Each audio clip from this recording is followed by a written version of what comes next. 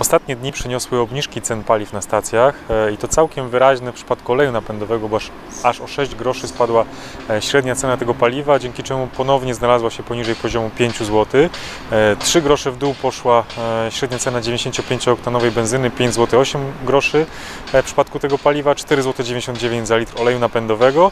No niestety kierowcy tankujący autogaz cały czas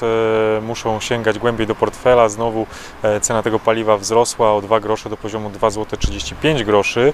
E, i te obniżki w przypadku podstawowych paliw benzyny i oleju napędowego z pewnością cieszą kierowców, e, ale nie ma chyba co liczyć na to, że w najbliższych dniach zobaczymy ich kontynuację, e, głównie za sprawą tego, co dzieje się na rynku naftowym, bo tam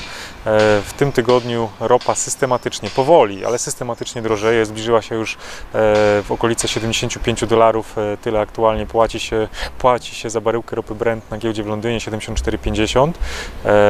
i to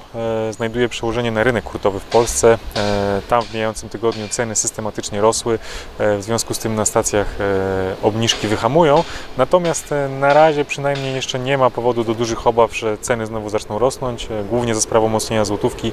które niweluje te negatywne skutki wydarzeń na rynku naftowym.